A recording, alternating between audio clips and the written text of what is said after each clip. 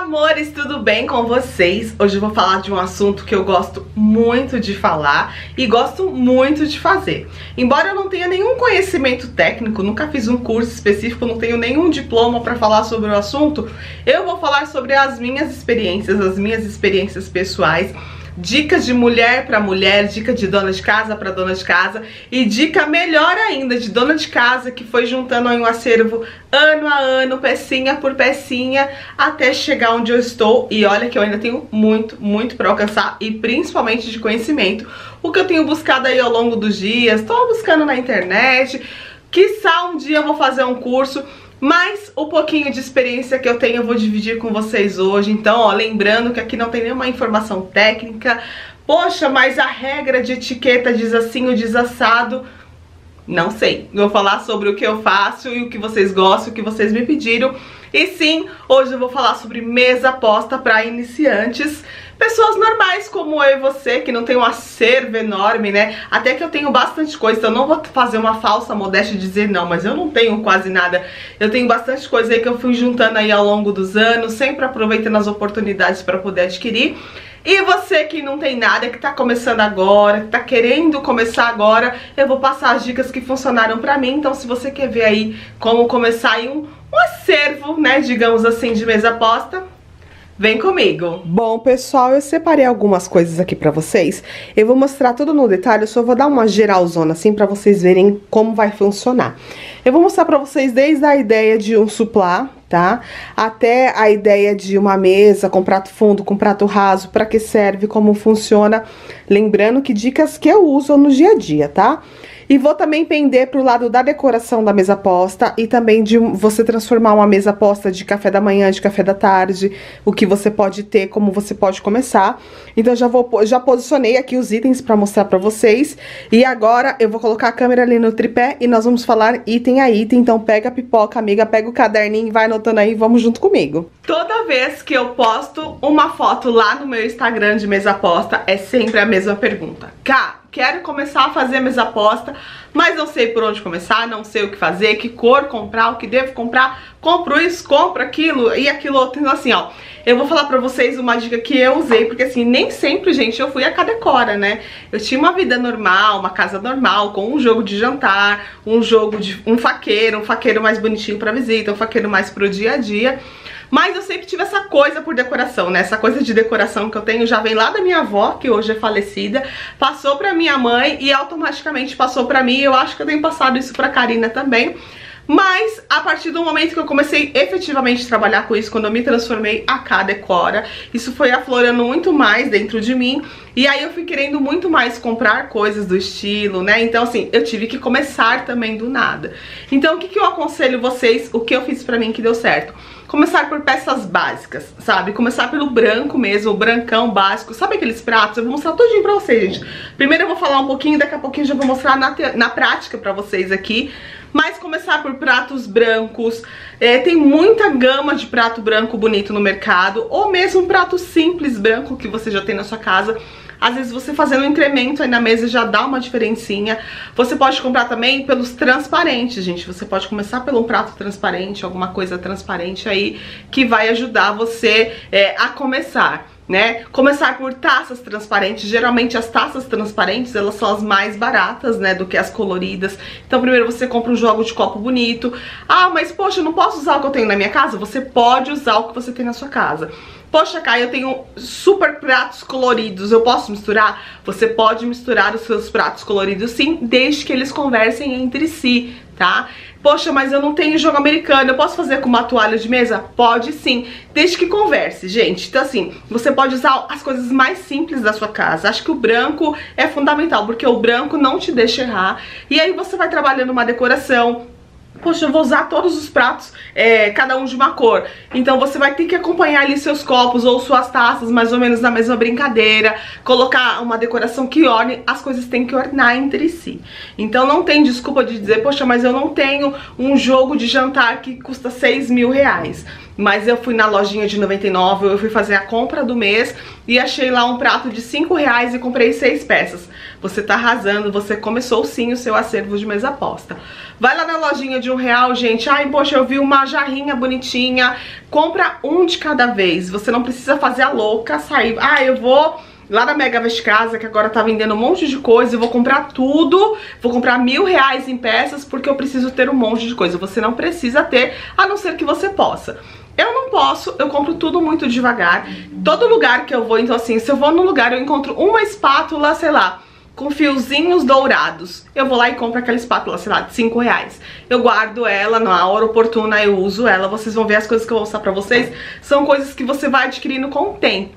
Então baseia assim, onde que eu começo? Peças brancas e peças transparentes. Isso ajuda muito, muito mesmo, porque você tendo uma gama aí, sei lá, um jogo de prato, oito pratos raso, oito pratos fundos, oito pratos de sobremesa, todos branquinhos, você já começa a partir daí o seu acervo e você pode montar N mesas, N coisas com seus pratos brancos ou transparentes. Mesma coisa para taça transparente, para o copo transparente. Os talheres você pode usar um, um, talher tradicional. Eu mesma eu compro muito talher, gente, em lojinha de R$1,99. Vou mostrar um para vocês que vocês vão se espantar. Quando eu postei no Instagram, muita gente ficou encantada, duvidou que eu comprei na lojinha de um real e eu paguei acho que três e pouco em cada um. É investir né? É, às vezes você tem 10 reais ali que você pode investir, você vai na lojinha de 99, compra uma jarrinha bonitinha, vai comprando coisinhas bonitinhas, coisinhas que agradam o seu coração, né? Porque assim, não é só uma coisa que tem que ser bonita pros outros, ela tem que ser bonita pra você, pra sua família, e mesa aposta é isso, né, gente? O significado, o verdadeiro significado da mesa aposta não é você sair daí arrasando, achando que você é melhor que todo mundo, Poxa, eu tô igual aquela blogueira famosa que faz mesa aposta. Mas será que isso trouxe paz pra você? Será que isso não deu um rombo no seu bolso que tirou o seu sono? Então o mais importante é você fazer a coisa devagar, de acordo às suas possibilidades, que não tire seu sono, não tire sua paz e te dê alegria. Então agora eu vou mostrar pra vocês, na prática, o que, que é legal ter. Bom, vamos começar por pratos. Eu peguei esses dois exemplos aqui que... Quem não conhece esses pratos, né, gente? Sabe onde eu comprei esses pratos? Lá no Açaí Atacadista. Fui fazer a compra do mês e aí eu comprei seis fundos e seis rasos. Quero comprar mais uns quatro pra formar um joguinho de 10, porque o branco, ele é básico.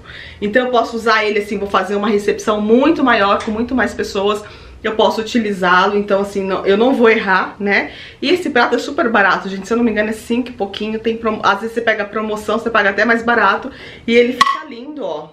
A combinação dele é perfeita, ele é todo trabalhadinho, tá vendo?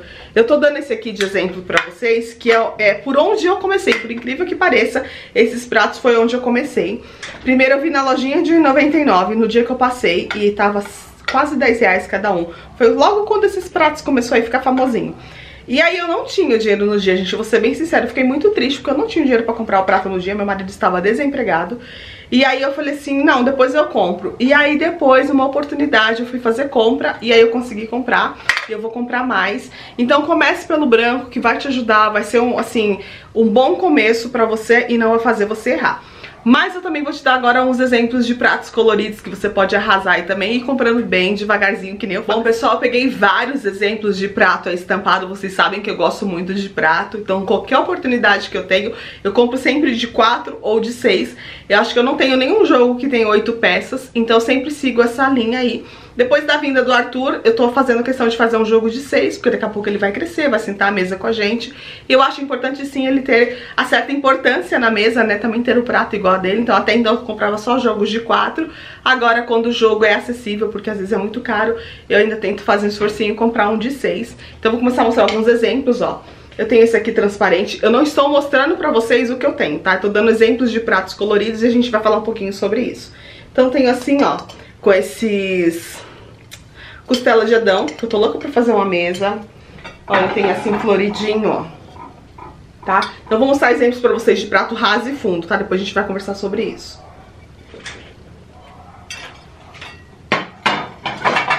Olha, tenho esse aqui de abacaxi. Assim. tá vendo?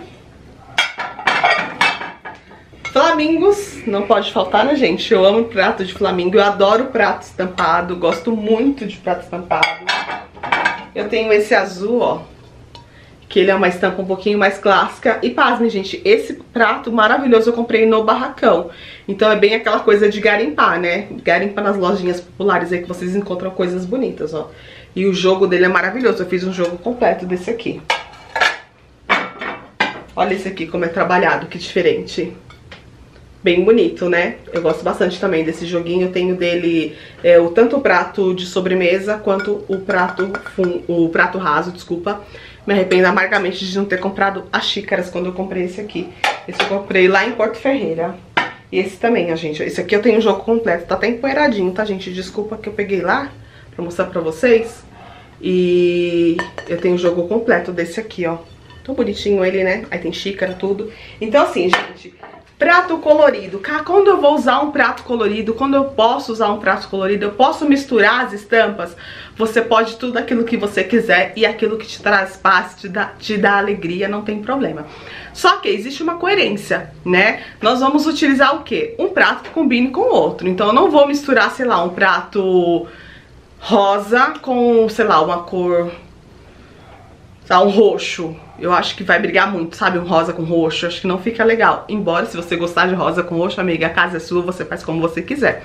Então, assim, vamos ter coerência nas misturas, né? Então, aqui, ó, vamos supor, ó. Eu já fiz, inclusive, a minha mesa do chá revelação, vou deixar aqui pra vocês. Ela foi feita nesses dois tons aqui, ó rosa e verde água. Eu não tinha, eu tinha que fazer uma mesa de seis lugares, eu não tinha tudo, então eu misturei inclusive as taças. Eu coloquei rosa e verde água e ficou bem bonito. Então dá sim pra fazer uma mistura, dá sim pra manter uma coerência aí, não tem problema. Misturar estampas, olha aqui, ó. Aqui eu tenho um prato estampado, aqui eu tenho um prato liso.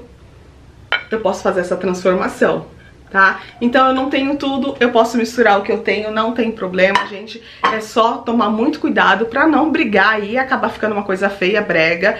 Dá pra você fazer uma coisa bem legal com o que você tem em casa. Uma dúvida que eu recebo bastante também é sobre o modelo do prato que eu vou utilizar. Então, cá, eu compro o prato raso, eu compro o prato fundo, o que que são aqueles pratos todos, um em cima do outro na mesa? Então assim, eu vou mostrar pra vocês mais ou menos o básico de como funciona essa questão dos três pratos que a gente utiliza tá? Os pratos básicos do dia a dia. Se tem mais outros tipos de prato, pra isso ou pra aquilo, eu não sei. Geralmente são esses os três que eu uso, que é o prato raso, tá? Então, vai começar? Começa comprando o prato raso, que ele é pra tudo, sabe? Comida sólida é com o prato raso. E aí, o que acontece? Vai servir uma, uma entradinha, né? Uma salada, alguma coisa. Você sempre vai utilizar o prato de sobremesa sobre o prato raso tá? Então vai ficar posicionado assim na sua mesa, bonitinho. Ah, não, mas eu não vou servir ah, é, uma salada antes, eu vou servir um caldo ou uma sopa. Prato fundo. O prato fundo, gente, ele é utilizado geralmente pra servir caldos e sopas, ou então, sei lá, você vai servir uma salada antes, alguma coisa, você pode utilizar o prato fundo, mas o ideal é o prato de sobremesa. Então vai fazer uma salada, é, vai fazer uma sopa, um caldo, alguma coisa antes do prato principal, prato fundo. Então quando você vê uma mesa posta assim, é porque vai ser servido antes um outro prato junto. Então se você não for servir outro prato junto, nada, você vai fazer só o prato principal, o prato raso. Então essa é a dúvida. Então vamos recapitular. Prato normal, sólido, prato raso. Vai servir uma salada, prato de sobremesa, vai servir um caldo, uma sopa, o prato fundo. Agora nós vamos falar de talheres. Sempre tem aquela dúvida, né? Eu tenho vários jogos de talheres e olha, saibam vocês que a maioria dos meus jogos de talheres são de lojinhas bem populares, tá, gente? Eu não dou muito caro no faqueiro não, porque assim, ó... Eu tenho dó mesmo, é muita coisa pra comprar, é muito filho pra criar, então não dá pra ficar aí comprando garfo de 300, 400 reais porque eu não tenho condição. Então, se você não tem nenhum, salva aquele seu lá do dia a dia, você pode comprar um básico desses pratinhos assim de inox, tá? Então tenha sempre o garfo, né, normal, a faca, a colher de sobremesa. O que que faltou nesse aqui? A colher normal, né? Faltou a colher de chá, mas se você não tiver, amiga, usa essa colherzinha mesmo. Não é a regra que vai fazer você falhar, não é nada disso. Então nesse jogo aqui, ó, eu não tenho a colherzinha de chá. A maioria dos meus jogos não tem. Então você, se você vai servir um chá, você usa essa colherzinha aqui que tá tudo certo, não tem problema. Você não vai deixar de fazer uma mesa porque você não tem uma colher de chá, né? E aí, eu tenho outros tipos de jogos, que nem esse aqui que eu falei pra vocês. Olha que lindo, gente. Ele é de mármore Carrara, ó. É muito bonito, né? Eu comprei numa lojinha de R$1,99, gente, esse jogo. Quando eu postei lá no meu Instagram, o povo ficou empolvoroso, assim, ah, onde você comprou? Faz um tempinho já. E eu comprei o joguinho completo também, fui comprando as pecinhas avulsas. Gente, eu vou falar uma coisa pra vocês que é a minha realidade. Olha, pra comprar isso aqui naquele dia eu não tinha dinheiro. Sabe quando você faz, tipo, faz conta? Eu e minha mãe lá, falei, não, pega seis desse, vou fazer conta. Ah, não dá certo se eu economizar aqui e tal. Então, gente, tem coisas na vida que é economizar, né? Poxa, você fica tão preocupado que a sua amiga tem mais que você, mas você não se esforça pra ter o teu, né? Então, nesse dia aqui, ó, eu comprei o joguinho e saí da lojinha de R$1,99 dura, gente, eu não tinha mais nem um real, nem pra chupar uma casquinha. Mas eu comprei e eu acho muito legal, acho ele lindo, super tendência. Então, essa é a dica que eu sempre deixo pra você. Investe né? Vai no baratinho, vai devagarzinho que vai dar tudo certo. Mas eu também tenho um jogo bonitão, gente. Que eu também não paguei muito caro não, porque eu comprei lá no Paris. Comprei logo quando lançou essa onda aí do Rose Gold. E ó, é esse jogo Rose Gold. Eu não me lembro quanto eu paguei. Não paguei muito caro, tá? Como tá na internet, porque eu comprei em lojinha foi na época que eu tinha loja, então eu comprei com o CNPJ, então acabei pagando mais barato. Ele também tem a colherzinha de sobremesa, esqueci de pegar pra vocês. Então dá pra ter um jogo bonito. Então assim, ó, opte em comprar, sei lá, um jogo simples, né, que é esse aqui normal e de repente você compra um jogo bonitão. E aí dá pra você ir variando, não tem problema. Pelo menos dois aí pra ficar legal pra você, tá bom? Então na parte de talheres foi essa assim, dá pra você fazer com o que você tem. Mas ó, aproveita que nem o Barracão. O Barracão é uma loja que assim vende N talheres que você compra de unidade. E às vezes pagar um real e pouco. Eu tenho um joguinho de lá preto que eu paguei acho que 1,20 em cada peça. E a faca é excelente, o super corte. O garfo ele tem uma boa pegada. Então vale a pena assim investir porque aí você tem vários coloridos com precinho bem baratinho. Agora vamos falar de copo e taça. Quando se trata de falar de copos e taças, acho que é a maior briga, né? As pessoas ficam, mas eu não tenho essa taça colorida. Ah, mas eu não tenho essa quantidade de taças. Você não precisa ter essa quantidade de taça. Você precisa ter uma taça básica, branquinha. Eu paguei R$39,00 um jogo com seis. Essa aqui também comprei no Barracão. Ó, eu gosto muito de loja popular, gente. Vocês vão ver sempre falando o nome de loja popular aqui pra vocês, até pra ficar a dica. E é bem legal, ele é um jogo bem bonito. E aí dá pra você fazer todas as suas mesas com um jogo transparente desse. Porque isso aqui vai brigar com o quê, gente? Com nada, né? E aí fica super legal. Se você quiser, você também pode fazer uma mesa posta com copo. Eu vou fazer depois uma mesa pra vocês um outro dia, uma outra oportunidade, uma mesa com copo. Não tem problema nenhum. Você não tem taça, amiga? Faz com o seu copo, não tem problema. Eu trouxe um exemplo de um copo aqui. Esse copo eu comprei no ah, esqueci o nome da loja, vou deixar aqui pra vocês. Na Niase, desculpa. Eu comprei na Niase um jogo, é, o grande e o pequeno, né? Ele é muito bonito, ele é muito pesado, mas é um copo elegante, né? Ele é um copo diferenciado, mas dá pra fazer com copo sim, não tem problema, não precisa ser necessariamente taça. É porque deu um boom aí de moda, né, dessas taças coloridas tal. Eu particularmente adoro, mas não precisa necessariamente ser com taça, tá? Você pode fazer a sua mesa posta com copo sim, senhora, viu? Você pode também, gente, optar por um copo mais bonito. Então você vai lá na lojinha de 99, que já não é mais 99, né? Tô bem aqui falando de lojinha de 99. Mas às vezes lá tem uns jogos de copos bonitos. E você pode comprar um jogo de copo bem bonito assim, ó. Tá vendo? Esse daqueles bem fininhos que tem até que tomar cuidado na hora de lavar, ó. E dá pra você fazer uma mesa posta. Inclusive, eu já fiz uma mesa posta aqui no canal, uma mesa azul, usando este copo. E ficou bem bonito, então pode sim fazer a mesa com copo. Mas se você optar por taça, gente, o mercado hoje oferece uma gama enorme de cores de taça. Eu mesmo tenho, assim, muitas cores porque eu gosto bastante. Se brincar, eu deixo de comprar um sapato novo pra jogar, comprar um jogo de taça novo. Quem me conhece sabe. Já levei várias broncas do marido, mas não tem problema, né? Então, ó, você pode utilizar, ó, uma taça azul dessa Todos esses produtos que eu estou falando pra vocês, gente, eu não tenho uma loja específica, tá? Quando eu lembro eu falo, mas geralmente eu compro na internet, Mercado Livre. Se eu gostei dessa taça, essa taça aqui foi um exemplo. Eu peguei o nome dela na internet e fui pesquisando, pesquisando até achar um site super barato. Se eu não me engano, eu comprei no Mercado Livre. Então vai pesquisando, pesquisa até achar. Então assim, ai, mas no West Wing, na loja tal, no Tox Tox se você gostou de um modelo, pega o nome do modelo, joga no Google e fica pesquisando, colega. Sempre vai aparecer uma loja mais barata e é lá, geralmente, que eu compro. Então eu trouxe alguns exemplos de taça colorida pra vocês, ó. Tem essa vermelha aqui que eu também comprei no Mercado Livre, paguei super baratinho, acho que paguei 60 reais um kit com seis. né? Achei bem bonita ela, eu gosto muito de usar ela com os pratos de hambúrguer. De hambúrguer não, de pizza que eu tenho. Tenho essa furtacor aqui que é maravilhosa. Que eu estou louca pra usar, vocês sabem que eu estou doidinha pra fazer uma mesa furtacor. Eu estou aguardando pra fazer com ela. E trouxe também essa âmbar, que é super bonita, super legal, tá vendo, ó? E logo logo eu vou usar ela também. Agora nós vamos falar também de uma coisa que dá muita dúvida nas pessoas, que é sobre roupa de mesa. Sim, gente, a nossa mesa também usa uma roupinha e eu vou mostrar pra vocês. Primeiro de tudo, existe a opção da toalha de mesa. Sim, ainda existe, viu, gente? Ainda se usa e se usa muito toalha de mesa. Eu não tenho nenhum exemplo pra mostrar pra vocês, porque minhas toalhas de mesa são bem usadinhas. Sabe aquelas que a gente usa no dia a dia? E eu ainda não tenho uma toalha de mesa branquinha, toda bonitinha. Ainda vou conquistar aí uma toalha bonitinha aí de renda, bonita. Ainda não tenho. Mas eu uso mesmo os jogos americanos, os suplás que eu tenho hoje. Eu trouxe só alguns exemplos pra vocês. Existem N modelos, N fatores, assim, vai a sua escolha. Então eu trouxe, assim, alguns é, que eu tenho e, assim, dicas pra vocês. Quer ver, ó? Primeiro de tudo eu vou mostrar esse aqui de crochê.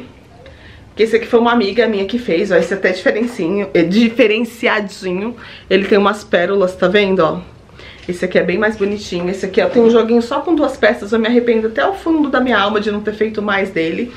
Então, assim, sabe aquela sua vozinha que tá lá tricotando? Pede pra ela fazer um pra você. Isso aqui, gente, isso aqui é o mais fácil que tem. Se você não for que nem eu, agitada, você pode sentar na sua televisão, ainda na internet e aprender a fazer. Eu, gente, particularmente pra essas coisas de mãozinha assim, eu não consigo fazer, não. Então, eu sempre pego uma profissional que sabe fazer. Então, esse aqui, ó, esse não erra tá? Então esse aqui é super fácil de fazer, pede pra sua vozinha, pra sua amiga que dá tudo certo. Aí o que acontece? Vou mostrar um outro exemplo pra vocês. Quem já viu os vlogs aqui do canal, quem já conhece a nossa casa, vai reconhecer na hora essa estampa. Tcharam! Da onde é essa estampa, gente? Lá do cantinho do Arthur, né? Sim, isso aqui é um tecido que eu coloquei na parede lá no quarto, ele é um tecido bem grosso, ó. Tá vendo? E aí sobrou dele, o que que eu fiz? Jogos americanos. Pedi pra mamãe fazer a barrinha aqui, ó e virou um jogo americano, gente, economizei muito, então, porque o que eu fiz? Comprei o tecido, né? Sobrou, nesse caso sobrou, mas você também pode comprar o tecido, pedir pra sua mãe, pra sua avó, pra sua tia, pra sua vizinha, passar só a costurinha.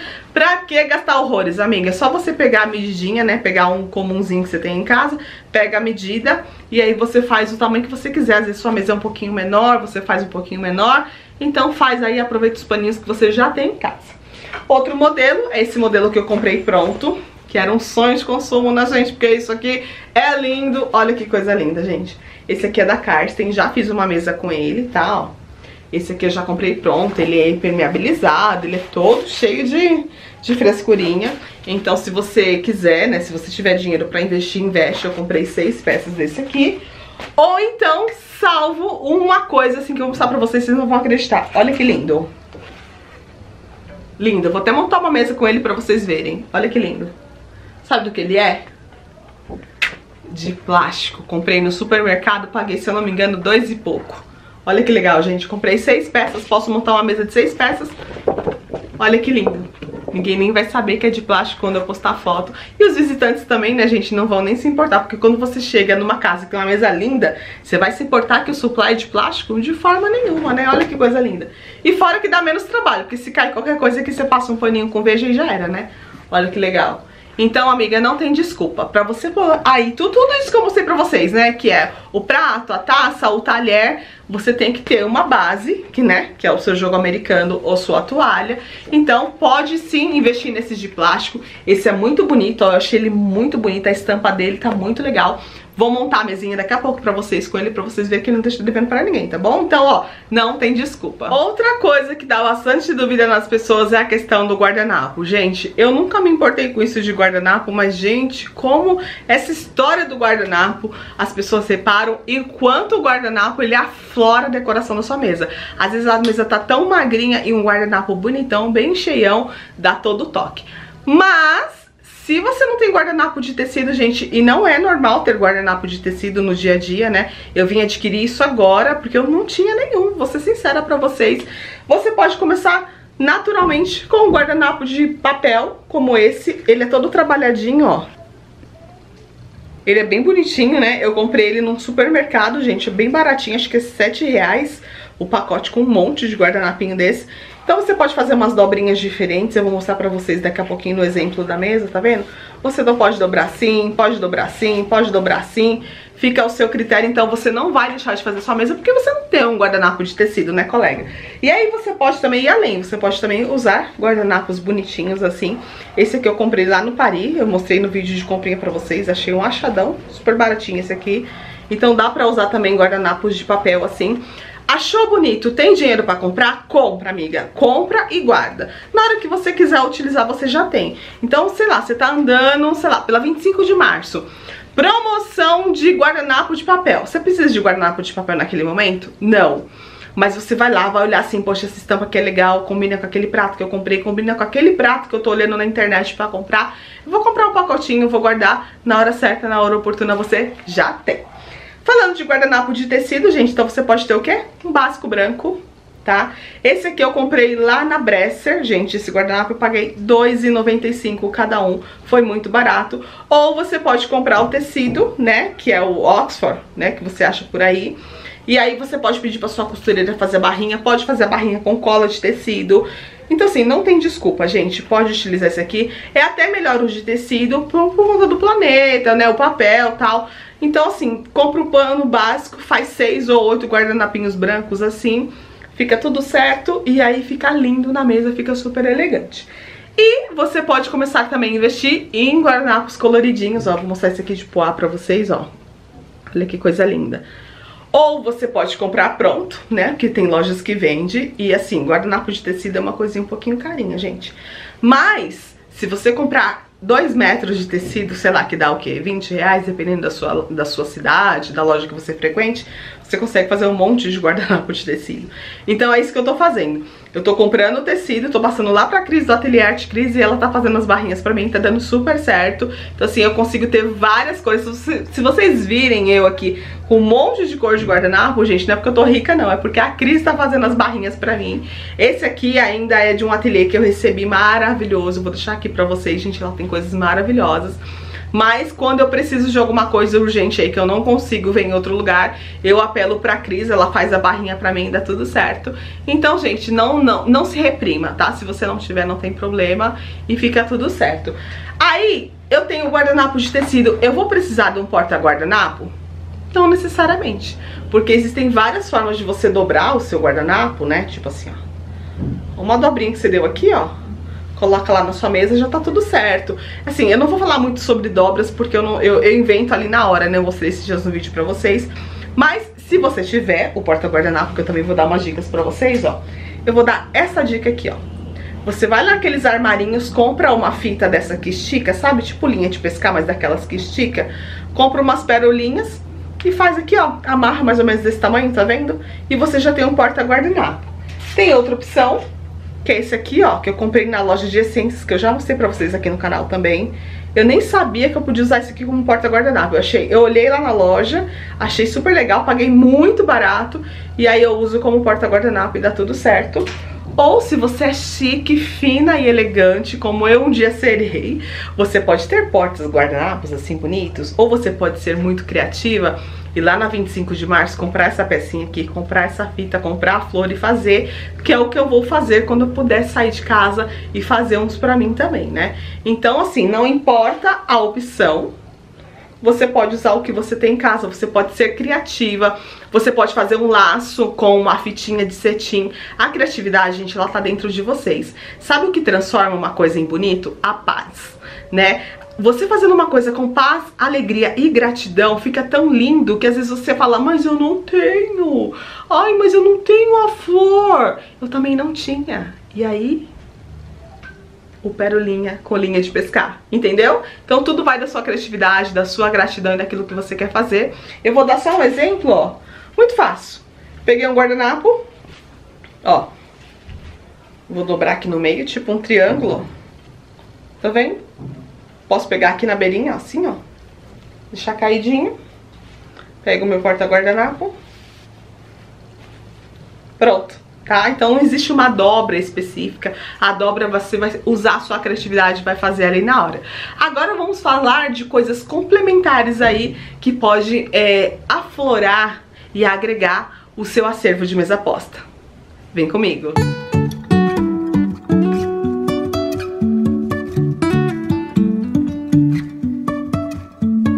Life is a winding road